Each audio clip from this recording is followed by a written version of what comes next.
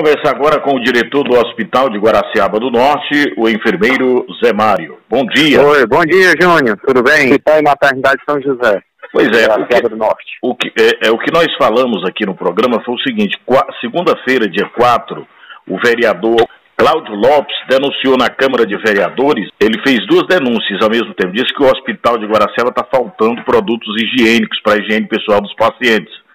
Disse que um senhor de idade teria necessitado de limpeza e a filha deste senhor é, levou ao conhecimento do vereador que a, a higiene pessoal do paciente teria sido feita com as próprias meias após ele ter utilizado o banheiro. A outra denúncia que ele fez foi com relação a uma mulher que teria feito o parto aí no hospital e após o parto ela teria ficado dois dias. Nós achamos um absurdo e o senhor, como enfermeiro, sabe também porque a pessoa, quando recebe alta, imediatamente tem que sair logo do local, do hospital, exatamente por risco de infecção. E foi isso que nós falamos, achamos um absurdo. E o que é que o hospital tem a dizer para a população, o diretor? É, Júnior, primeiramente queria saudar você né, e seus ouvintes, seu programa. Inclusive eu também, sempre que possível, sempre sou um ouvinte, né, gosto muito do seu programa, porque sempre eu vejo né, sua, sua dedicação a verdade, né? E com isso a gente veio aqui para esclarecer. É, a gente não tem nada a esconder com relação a, aos atendimentos, o tratamento aqui no, no hospital. Inclusive, quando eu ouvi, né, eu liguei aqui para minha funcionária, a nossa funcionária aqui do hospital, que é responsável pela questão do, dos materiais de limpeza, e ela também fica responsável pelos, é, diretamente pelos funcionários que fazem a questão da limpeza do hospital, né, limpeza, é, cozinha, tem uma funcionária. E, perguntei a ela o que tinha acontecido, se tinha faltado algum tipo de material, é, nem tinha dito que era que tinha ouvido no seu programa, que eu queria logo ouvir dela para ver se tinha faltado alguma coisa, porque a mim não tinha chegado nenhuma reclamação, nenhuma reclamação diretamente para a direção. É, e eu sempre peço que, a, quando tiver algum tipo de reclamação, pode nos procurar na direção. A gente está aqui justamente para solucionar qualquer tipo de problema, tiver alguma reclamação, a gente está aqui à disposição. Né? Estou diretamente no hospital de segunda a sexta, manhã e tarde, e nos outros horários, a gente trabalha em hospital é 24 horas, principalmente quem trabalha em direção na parte administrativa, que como o nosso hospital é e todos os hospitais funcionam 24 horas, né, sempre pode acontecer algum problema. E quando é, tem algum problema, a gente tem que procurar resolver. Meu telefone é, é 24 horas, é disponível, não tem nenhum. Eu, eu não atendo, né? Às vezes a gente está fora de área, quando eu vejo a mensagem eu retorno, mas não deixo ninguém sem uma explicação e sem procurar resolver o problema. E com isso eu perguntei a ela se tinha faltado algum material, ela disse que recentemente, né, no, no decorrer desse, desse período. Inclusive, não faltou material de jeito nenhum. Desde quando eu estou aqui na, na parte administrativa, de, do, de janeiro do ano passado até esse momento, a gente sempre procura manter é, todos os itens necessários à assistência aos nossos pacientes. Até naquele período de loucura né, do, do Covid, que a gente teve um problema sério com aquela a questão de oxigênio e medicações, graças a Deus a gente sempre manteve, né? Fizemos da como na linguagem popular, fizemos a tri, das tripas coração, mas sempre mantivemos a assistência aos nossos pacientes de, da melhor forma possível. E eu lhe digo, não foi ideal, né? Eu não sei qual foi a circunstância, eu até pedi a ela para deixar os funcionários sempre atentos que fazem essa reposição, prestar sempre atenção na, nas enfermarias, nos setores onde nós temos pacientes, onde temos pessoas que usam os materiais de higiene pessoal e sempre a gente mantém. Nesse período né, que foi citado agora, não, não faltou. E nem outros Muito períodos, bem. desde o, quando eu entrei. O diretor, enfermeiro, ah, doutor, doutor José Mário, quer dizer então que o hum. vereador está equivocado, pelo que... É, eu não, não, não sei qual foi a, a, a mensagem que chegou para ele, a reclamação, né, mas eu acredito que, que com, com o impulso da notícia, ele tenha se pronunciado lá na Câmara, né, e tenha dito isso de acordo com o relato, né, que tenha chegado para ele. Inclusive, eu sempre peço a eles, quando tiver qualquer situação, nos procure.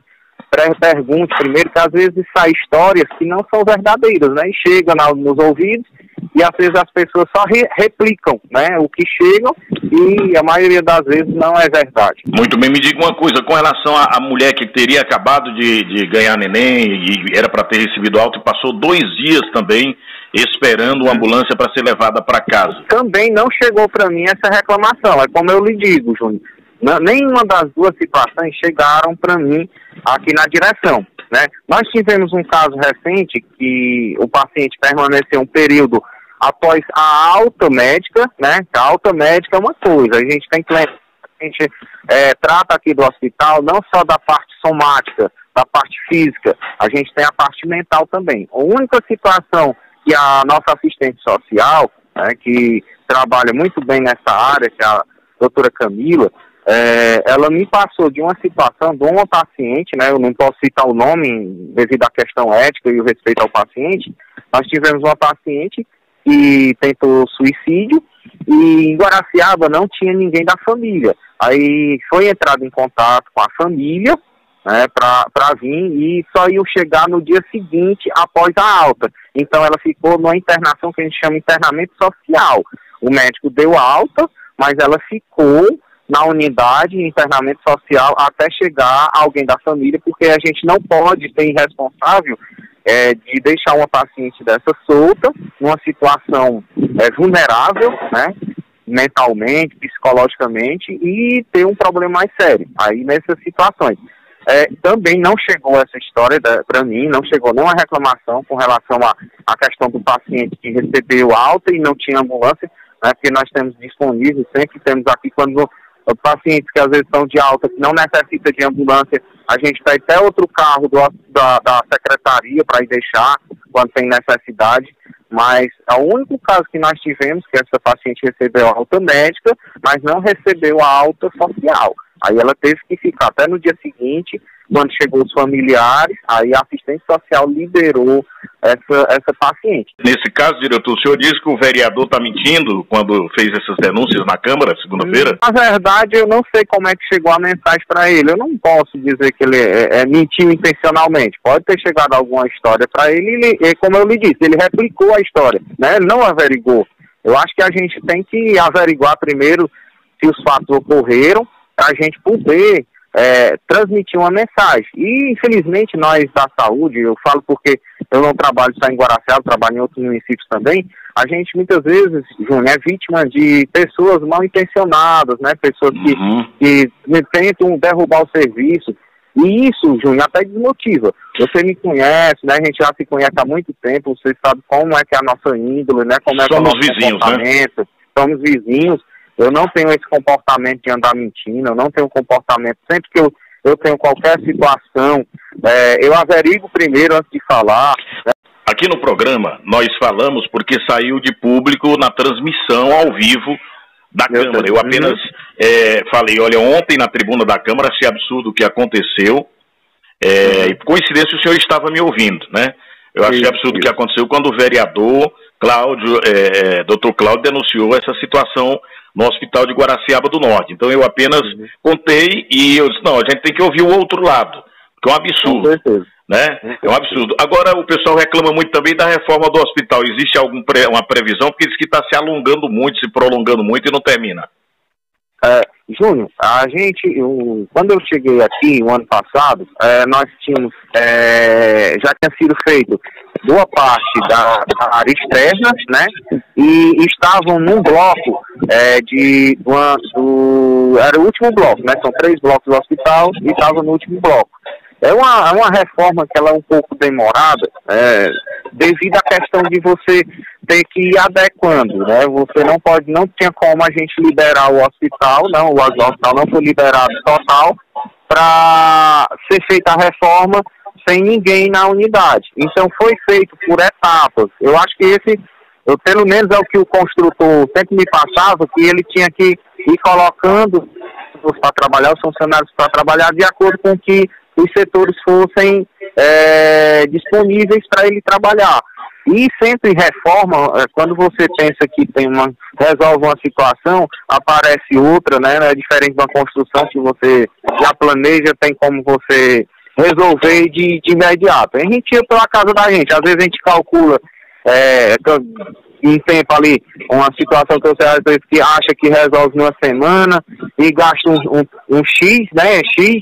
Aí quando você é no final da reforma, você gasta três vezes o tempo e às vezes três vezes o X que você imaginava que ia gastar. Do mesmo jeito aqui na unidade. E a gente é, enfrentou esse período de pandemia e isso dificulta muito também, né? A gente teve que muitas vezes diminuir o serviço aqui da, da construtora devido à questão da própria pandemia, né? A gente teve que fazer essas adequações. Infelizmente, mas a, a gente sempre está cobrando a ele, né? Inclusive ele está finalizando o último bloco, tem uns detalhes para ser feito, né? Mas a gente sempre está está cobrando, né, e eu espero que seja um quanto antes. Né, ele não me deu ainda um prazo né, é definido né, de, de, de período, estou aguardando ele vir nessa semana para ele me passar alguma coisa. Qualquer novidade eu já, já lhe passo. Posso até. Está tá demorando muito, né? Já faz. É, já sei, começou sei, na a gestão anterior do prefeito e ainda está passando para essa e o povo está reclamando. Uhum. Diretor, doutor é, Zé Mário, muito é, obrigado. Povo, é, Júnior, Júnior, do jeito que o povo está doido que termine a, a reforma, nós da parte administrativa e a gestão também, o doutor Adair, todo dia, quase todos os dias ele me liga, cadê o, o, o, o construtor já falou alguma coisa? A gente está ansioso também para terminar, porque isso aqui não é bom para ninguém, nem para a gente que administra, né, porque a, gente aperta alguns setores para poder dis, disponibilizar outros para a reforma, e nem para a população. E é, do jeito que a população está ansiosa para terminar, nós também estamos. Obrigado, obrigado, doutor Zé Mário, pela, pela resposta. A gente está fazendo apenas hum. o trabalho da gente. Eu acho que é, fica incompleta a informação se a gente não procurar o outro lado. E nós vamos ficar atentos aos acontecimentos e à população. Muito obrigado. Eu é que agradeço, Júnior. E parabenizar o seu trabalho, né? Já, já lhe acompanho, não é de hoje, né? Somos vizinhos, mas a gente tem que realmente falar quando o trabalho é, é um trabalho sério. E eu gosto muito do seu trabalho, no entanto que eu sou até ouvinte né, do, do seu programa. Sei que, que possível tem que Obrigado. ouvir o seu programa, que eu gosto muito de, de você como vizinho, como pessoa e como radialista. E estamos à disposição. Quando tiver qualquer dúvida, qualquer situação, estamos aqui à disposição 24 horas. Precisando, estamos à disposição para qualquer esclarecimento. E também deixo sempre aberto aos vereadores, né? Já, isso eu já falei até pessoalmente com eles, que eu estou à disposição para qualquer esclarecimento com relação às situações que o, o, levam, né, que as pessoas levam para ele, tá bom? Obrigado, Obrigado gente, pelo espaço. Obrigado.